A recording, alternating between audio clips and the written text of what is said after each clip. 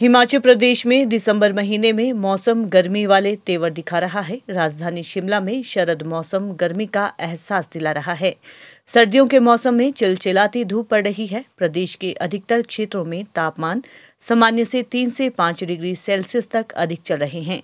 पिछले 24 घंटों के दौरान शिमला का तापमान सामान्य से लगभग 6 डिग्री अधिक उछाल के साथ 20 डिग्री पहुँच गया, जो दो के बाद सर्वाधिक है। मौसम विभाग की माने तो 2016 में अधिकतम तापमान 22.3 डिग्री सेल्सियस तक गया था, जबकि 2017 में 21.3 डिग्री सेल्सियस रहा था। हालाँकि न्यूनतम तापमान सामान्य चल रहे हैं हिमाचल प्रदेश के कई भागों में इस सर्दी के मौसम में अधिकतम तापमान सामान्य से ज़्यादा दर्ज किया जा रहा है। मौसम विभाग ने आगामी 21 दिसंबर तक मौसम साफ़ रहने की संभावना व्यक्त की है। देखिए, पिछले 24 घंटे की बात करें तो प्रदेश में मेनली ड्राई वेदर रहा है।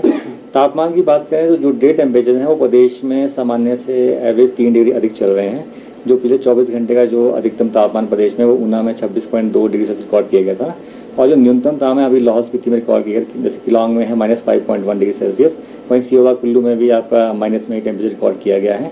परंतु जो न्यूनतम तापमान है, जो रात के, वो अभी सामान्य चल रहे हैं। आगामी पाँच दिनों की अभी पूर्व अनुमान की बात करें तो प्रदेश में अभी मेनली ड्राई कंडीशन ही रहने की संभावना है।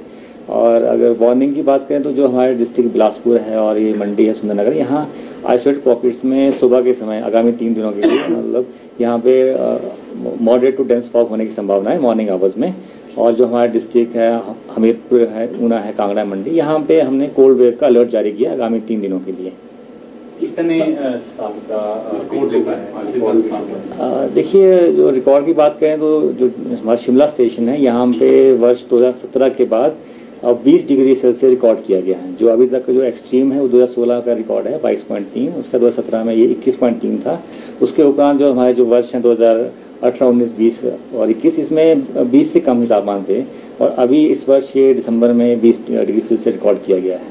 क्या लग रहा है आने वाले दिनों में भी देखिए इतना ज़्यादा चेंज नहीं होगा मतलब जो नॉर्मल टेम्परेचर उसमें एक से दो डिग्री प्लस माइनस हो सकता है। इतना ज़्यादा राइज होने की संभावना नहीं है अभी। और बर्फबारी की अगर बात करेंगे क्योंकि पूरा दिसंबर ही लगभग अब ड्राई निकल रहा है।